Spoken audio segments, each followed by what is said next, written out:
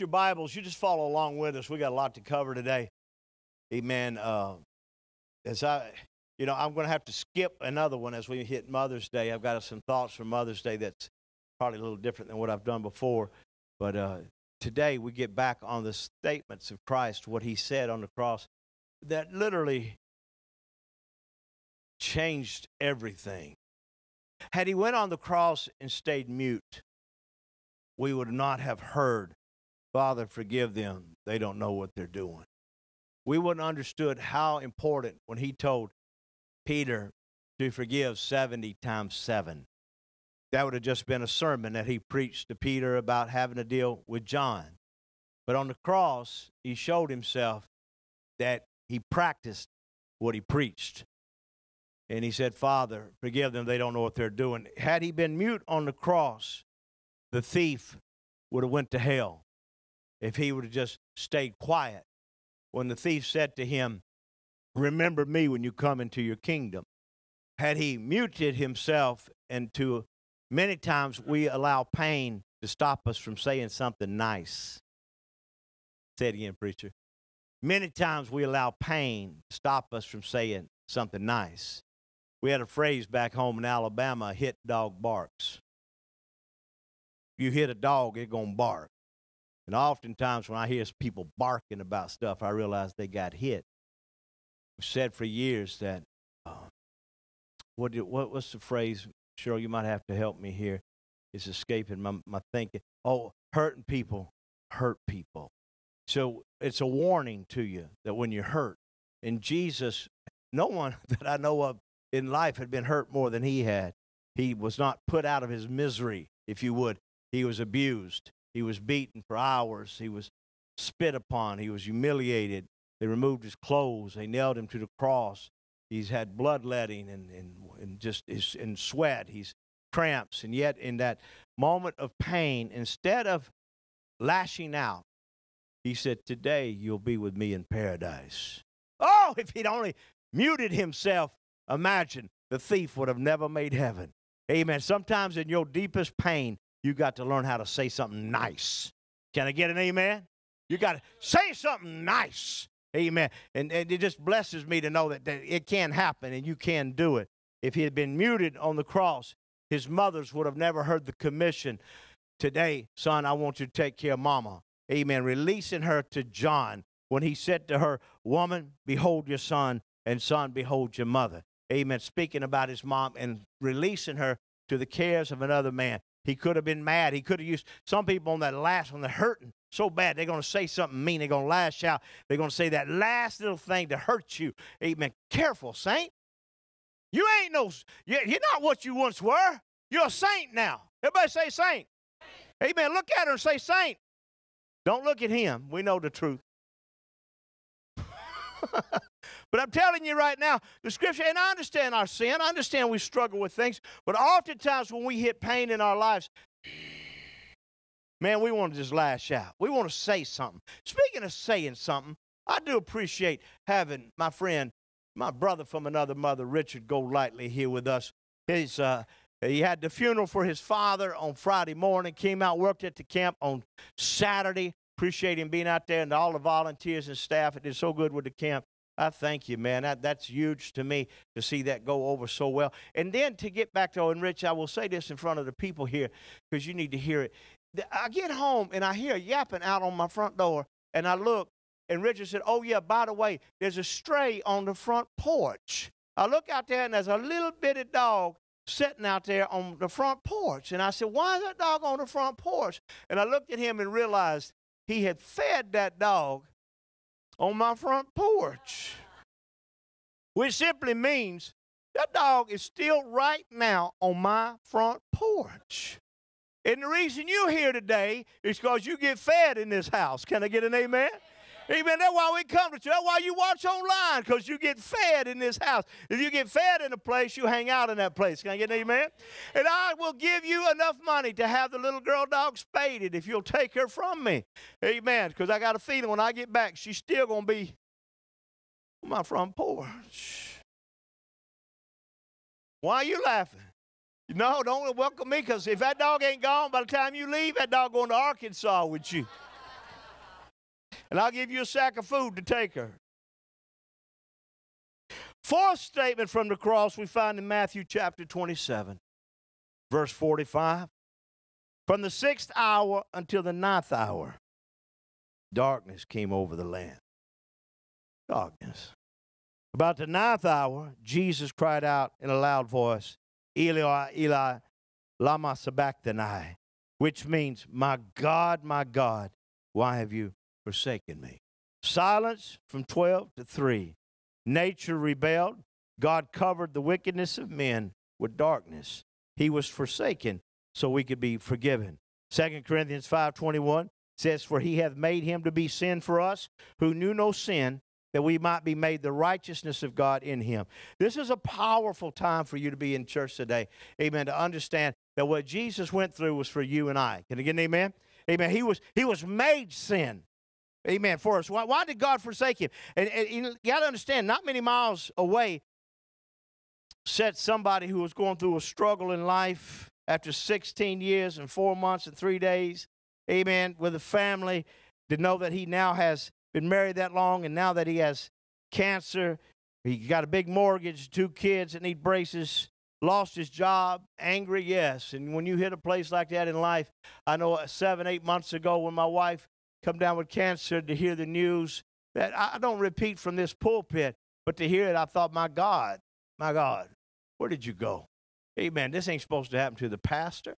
Amen. To his wife, and yet it happens to all of us at one time or another. Can I get an amen? Amen. You're going to hear it sit in your life probably before it's over. Lord, where did you go? Amen. I've prayed, I've fasted, I've given, I've done everything. Where did you go? It's Friday morning. It's Jerusalem. A crowd is gathered on the north end of town, just outside Damascus Gate, there at Golgotha, the place of the skull. The Romans, they like it because the hill is beside a main road. That, uh, that way, lots of people can watch the crucifixion. Amen. On that day, more people than usual have gathered. They come out. It's a, it's a macabre amen, way of looking at things. This human fascination with the bizarre, very horrible time, crucifixion. But it drew people. This day seemed like any other, but it's not. A man named Jesus being crucified. The word spreads like wildfire. reputation, the healings, amen, the blessings, the, the fish and the bread multiplied. The people began to show up, but there's no one neutral there. Some believe, many doubt, a lot of them hate. Three hours of darkness. At noon, darkness fell upon the land. It happened so suddenly that no one expected it. One moment, the sun was right overhead. The next moment, it disappeared. It was not, listen to me, it was not an eclipse, nor was it a dark cloud cover. It was not something you could explain. It was darkness itself, thick, inky, black darkness that fell like a shroud over the land. It was darkness without any hint of light to come. I can't explain it. Again, it's one of those mysteries that took place last night coming in from Tulsa. I looked ahead, I saw lightning down uh, 45 south, and I said to my son, That's dry lightning. That's, that's not, it's just, it, there's no rain in that. You just see the lightning. Oh, was I deceived? As we hit into the darkness, the deepest rain flashes are flashing everywhere. And I realized it came suddenly over us. The rains hit. I couldn't hardly see to move down the road. I had to drop my speed 30 miles from how fast I was going. Which now I'm traveling the speed limit. But everything slowed down for me, and I can't imagine this moment when the darkness is covered over. It, it's 3 p.m., and just as suddenly as the darkness had descended, disappeared. Voices now. A man leans over to his friend and cries out, What in God's name is going on here? Mortally wounded, suddenly Jesus screams out four words Eli, Eli, lama sabachthani. The words in Aramaic, the common language of the day, the words from a question that screams across Skull Hill and drifts across the road My God, my God, why have you forsaken me? It's hard sayings of Jesus. The words we can understand, but what do they mean? You know, the story is told that the great Martin Luther was studying this text one day. He sat for hours and looked at those words, My God, my God, why have you forsaken me? Amen. Silently pondered, and then suddenly he stood up and explained, God forsaken God. How can this be? Think about it. God forsaken. In other words, the only man in the history of the world that has ever been forsaken by God was God. Jesus. The only one that's ever been. You've never been forsaken. You may have thought you had, but you've not been forsaken. He's always been with you. He walked with you through the hospital. He's been with you through the mall. He helped you through the school. He walked with you through divorce. He walked with you through the death of a spouse. He was there with you when your parents passed in this life, Richard. He's always been there. He never backed away from you. Amen. Maybe you denied. Maybe you didn't realize it. My God, I've, I've been flown off my motorcycle on my way to the ground. It was Jesus. I've been thrown off my horse on my way to the ground. Jesus. I got married. Jesus. Come on now. Can I get a Jesus? Amen. This is the God forsaken man. That's who he is. In that moment, on the cross, God the Father turned his back on God the Son. The word forsaken is a strong word. It means to abandon, to desert, to disown, to turn away from, and to utterly forsake. You got to understand, when Jesus said, Why have you forsaken me? It was not simply because he felt forsaken. He said it because he was. He was forsaken. Jesus don't lie. Amen. When he said it, he meant it. The Father had turned away from him, literally. Amen. In the English, the phrase God forsaken usually refers to a place unfit for human. I've said it about Arkansas for years. This God forsaken place. I thought about it with you, Tommy, when I was down there hunting in Freer. Everything there either bit you, stung you, or, or, or, or tried to eat you. Even God forsaken. Amen. That's usually what we think of. But we do not literally mean God forsaken, even though that's what we say. It was true of Jesus. He was the first and only God forsaken person in history. A father's chief duty as a dad, you know, I've gone out of my way for all five of my kids more than once. And we'll continue to do that because that, that's our duty. This is the only time Jesus addressed God as my God. He never said it any other place. Here he said, My God. Everywhere else he called him Father. But but here he said, My God, because the father son relationship had been broken at that moment. Amen. It's temporary, but it was broken. It's the chief duty of a parent to take care of their children, to do their best to ensure that their kids do not suffer needlessly. You know, will we not do anything that's in our power to spare them? We do. Amen. We come up and we try to be maybe better than maybe our parents were to us. And we try to protect them and look after them. Sometimes that means a, a spanking. Sometimes it means boundaries. Sometimes it means taking away from some. Other times it just means simply loving them through their foolishness. Can I get an amen?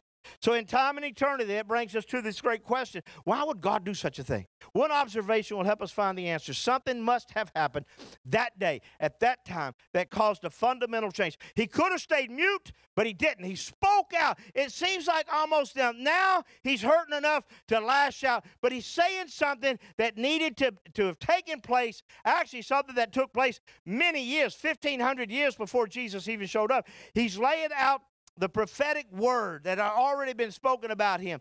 You know, changing the Father's relationship with the Son, something had to happen. At that precise moment, Jesus, I can't imagine it, was bearing the sins of the world. How, how do you, you realize how hard it is first for you just to bear your own sins? Amen. Your own failures, your own misgivings, your, your own statements you've made, your own frustrations. Amen. You just dealing with you. But now you got to take on Richards and Davids and Josephs. My God, HD. Amen. What what you're bearing the sins of the world. Amen. And it being poured on you from, from the beginning of time and to that which is going to take place to the Omega, if you would. Those times, the lamb slain from the foundation of the world. That's what the Bible says of him. But to slay it itself didn't happen till a specific time. All through Scripture. And now, if you've not seen what James Barnes has built about the tabernacle, you need to look at it. He built a beautiful display to teach the kids about the tabernacle. The tabernacle had everything to do with lambs slain for the forgiveness of sins. Amen. Uh, goats, scapegoats. Amen. Had to do with our being remitted, our sins being remitted, being pushed forward. All that took place. But at this moment, and this is the amazing time, Jesus' crucifixion didn't take place the week before Passover or the week after. It took place on Passover. Amen. So God set a time, He set a day to put it in the Jewish mind and in the Romans that were there that when Jesus was dying on the cross, they were literally slaying sheep. Hmm. There in the temple to forgive people of their sins. That's the amazing and yet blindness of the people of that day. So here's Jesus, the Bible says, slain from the foundation. The death of Christ was a historical event in every sense of the word, but it's historical with eternal implications. The disjointed Trinity Father, Son, Holy Ghost. What would cause a father to forsake his own son? Let's go back into the book of uh, Habakkuk, chapter 1, verse 12. O Lord, are you not from everlasting, my God, my Holy One? We will not die, O Lord. You have appointed them to execute judgment. O rock, you have ordained them to punish. Verse 13. Your eyes are too pure to look on evil. Now we're getting a glimpse. You cannot tolerate wrong. Why do you tolerate the treacherous? Why are you silent while the wicked swallow up those more righteous than themselves? The scripture teaches us right at this moment that God, his eyes are too pure to look on evil. God's holiness demands that he turn away from sin. Amen. God will have no part of it. When God looked down and saw his son bearing the sin of the world, he didn't see his son. He saw my sin. He saw your sin. He saw the sins of the world being put upon his son. That's what he saw. He saw instead of that, amen, and he turned away. The sins of the world were put upon the slain lamb. At that moment, not in anger, he wasn't mad at his son. Uh-uh. No, no, no, no, no. He was proud of that boy. But at that moment, he turned away. He loved his son as much at that moment as he ever had. But he turned away in anger over all the sin of the world that sent his son to the cross. Many times, if we're not careful, we make light of the cross. You can't do that, church. He turned away in sorrow and deepest pain when he saw what sin had done. He turned away in complete revulsion at the ugliness of sin. When did when he did that, Jesus was completely forsaken, completely alone. Amen. God forsaken, abandoned, deserted, disowned. It's true. When Jesus bore the sins of the war- world, he bore them all alone, had no help. But before that, he released the thief, he released his mother. Amen. He walked through this thing. He spoke. He didn't stay mute. Amen. The sins of the world being poured upon him. He became sin for us. Let me just pause and let you think of that. Every evil, wicked thought, thing you've done, person you know that's done it, everybody that's repented, amen, was because of that moment that we could. Mm. 2 Corinthians 5.21, God made him, Jesus, who had no sin, to be sin for us.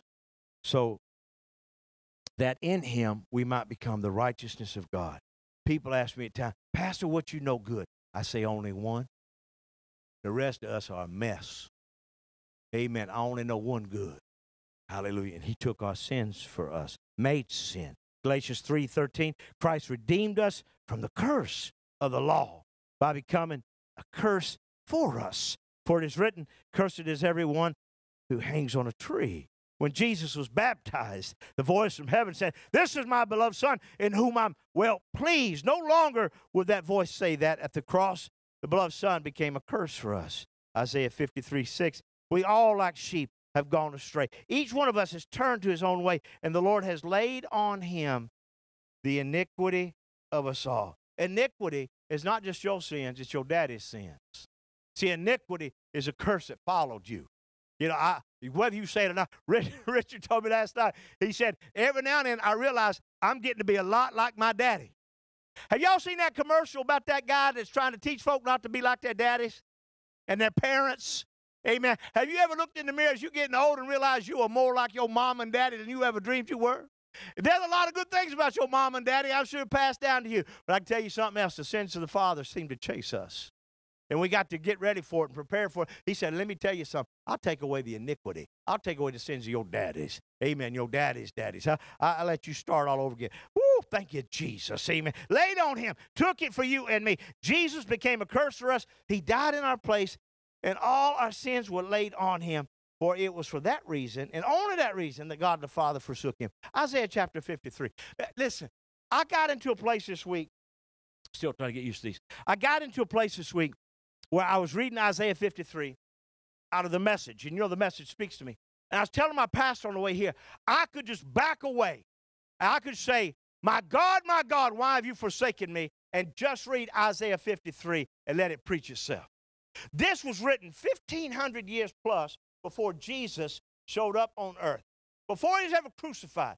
It was a, it was a newsprint, Isaiah said. And when he wrote it, it hit me, man. I mean, I'm walking through it, but it was our sins that did that to him, that ripped and tore and crushed him.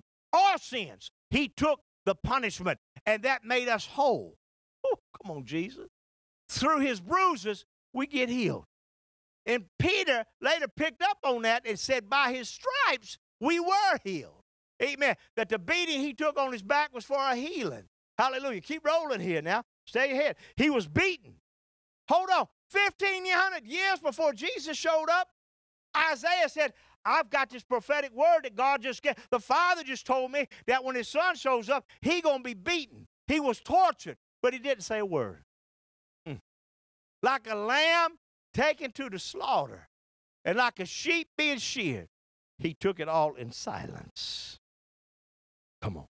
Justice miscarried, and he was led off. And did anyone really know what was happening? They didn't.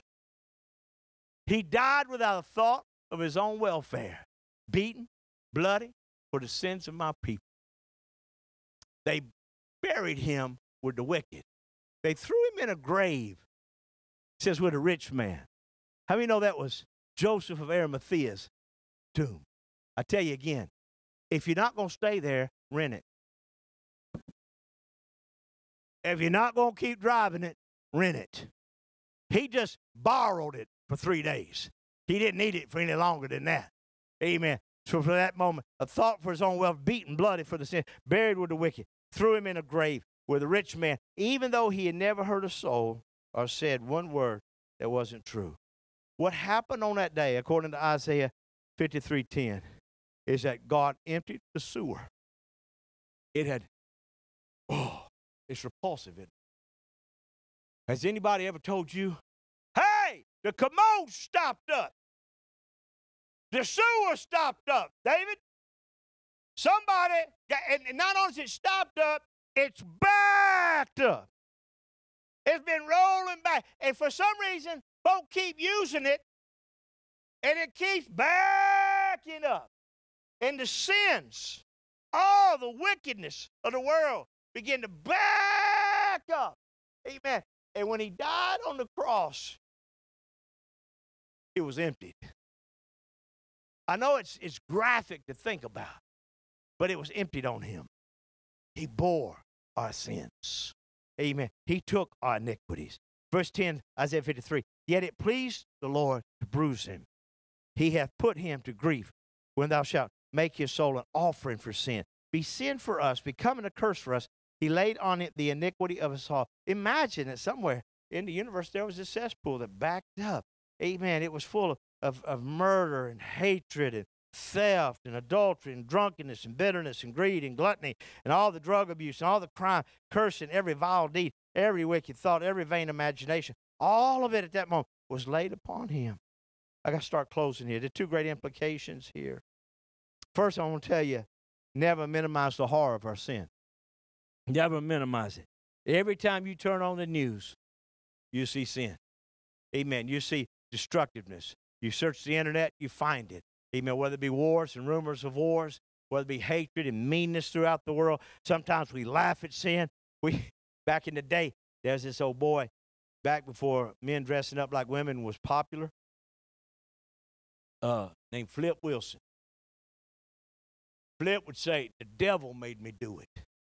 Amen. We blaming stuff on the devil. Hallelujah. When we did it, our, we, we, we poked fun of it. It was our way our, our sin that Jesus bore that day. It was our sin that caused the Father to turn away from the Son. It was our sin floating in the cesspool of iniquity. He became a curse, and we were part of the reason. Don't joke about it. Second, we must never minimize the high cost of our salvation.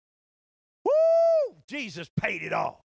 We say it, we sing it, but he paid all. He paid a debt he did not owe. I owed a debt I could not pay. Hallelujah. He did all that for us. Don't minimize it. Is it possible that some believers become tired of hearing about the cross? Pastor, I've heard you preach about this every year. I've been with you, Cheryl, for 25 years. You preach it every time. I, I told, uh, I told uh, my wife this week, I said, you know, some people, I, I appreciate all these teachers back here. Some of these teachers have been teaching at this college 25, 30, 40 years.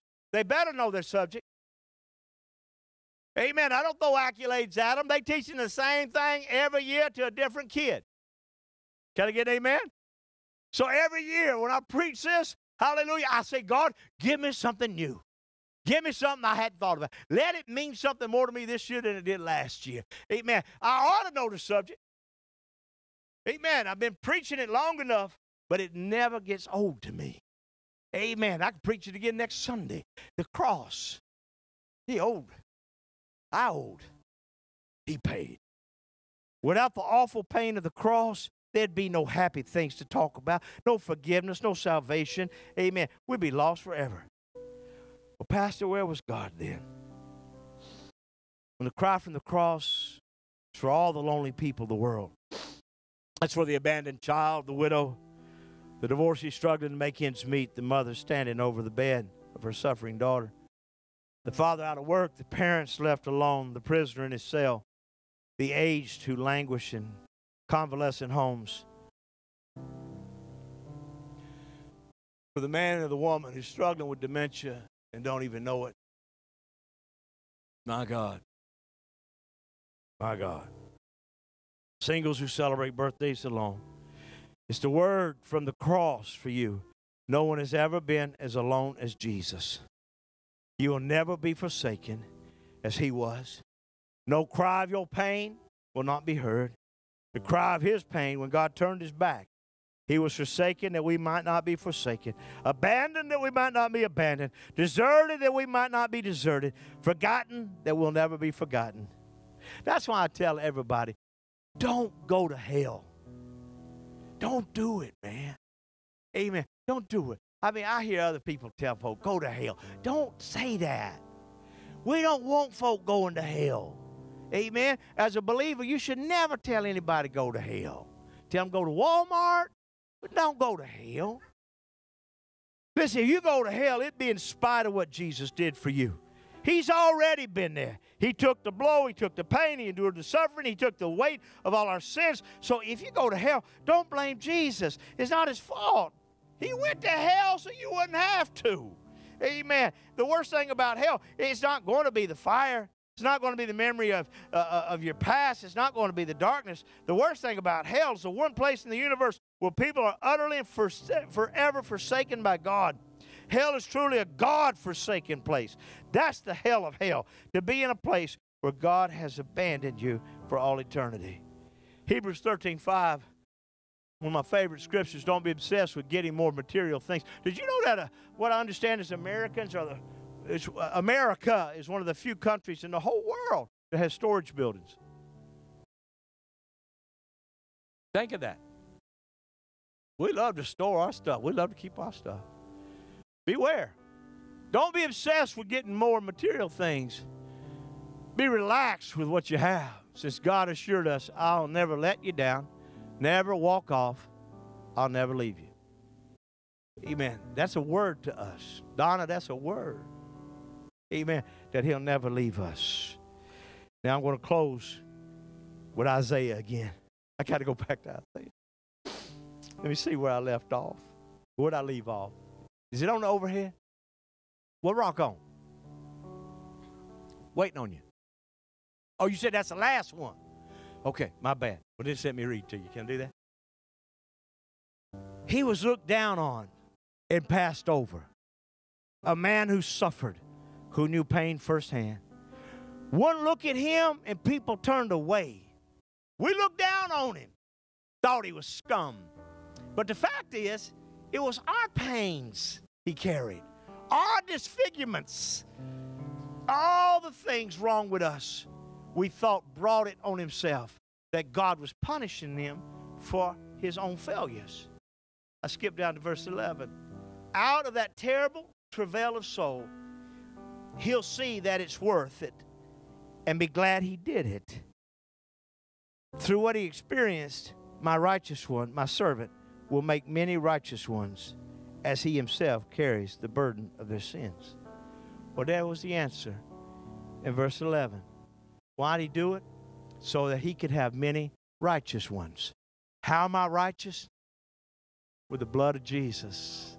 Heads bowed, eyes closed for a moment. Ooh. Thank you, Lord, for allowing me to preach your word. Share your heart. Remind your people what you did for them. Jesus, the only forsaken one that we would never be forsaken. In your life right now, if you have felt that God has forsaken you, you have felt that you're in need of a Savior. You, you're like me back in the day. I would pray and I had no idea I would really go to heaven. I just needed help. I just needed to pray. If you've been away from Him, let's put your hand up right now. Would you do that? Thank you, sir. Amen. Anyone else, just put your hand up right now. Pastor, pray for me today. Amen. Thank you. God bless you, sir. Amen. Thank you, ma'am. Anyone else? Thank you, sir. Pray with me. Jesus, you were forsaken, that I'll never be forgotten. You were abandoned, that I'll never be abandoned. I receive you today. I thank you for your mercies. And let me say with a loud voice thank you for your sacrifice. You for your sacrifice. Thank you for your sacrifice. It changed my life, it changed my thinking. Help me during pain not to lash out. In Jesus' name. Come on, give God praise.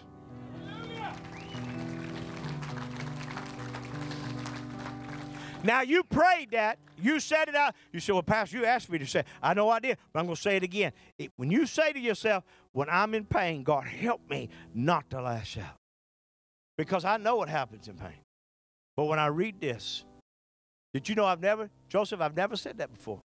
I've never talked about muting from the cross. That's why I like preaching this, Tommy, again and again, because I get another idea. Amen. I get another thought. Hallelujah. You would not believe how wonderful these things are right here. Because y'all are the fuzziest looking people I have ever seen. I told my son last night coming in, my son's a good traveling companion. He don't say nothing unless I say something to him. He like, he like traveling with Richard. That's why we got along so well. This morning, we need, we need to be honest with ourselves with our, our giving. I mentioned this even last week. It's sacrifice that moves the hand of God. My tithe is not my sacrifice. My over and above is my sacrifice. When I bless those. And we, we as we move toward the summer, we got still got a lot of things we got to do. Maybe the worst thing I ever said to you was the church is paid off. Because when you tell somebody something paid off, they quit giving toward it. Amen. But your giving was never to pay off the church. Your giving was to honor God. Amen. And so we give our tithe today, our offering. And if there's a need for sacrifice, God, I give over and above. And I want to tell you about it. Lord, I, I don't have a lot. Amen. But this is what I got I want to give. Amen. For the kingdom of God. And then, then have confidence in us that we use it for the right things. This, I don't think this is on the, I don't know if it's on the overhead. It's not written home on my paperwork here. But this week is first week midweek. Tuesday night, Eddie B will be with us. Now, first, oh, yeah, it is. I didn't realize, I didn't see it on the paperwork, Dave, so I want to mention it. But Eddie, this guy goes to prisons. He's out of Albuquerque, New Mexico.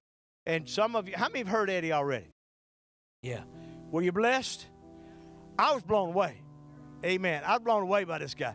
Uh, his, his passion for Jesus, that keeping the fire alive. I know it's like to be an evangelist. It's hard to, to keep the fire alive a lot of times. He's done that.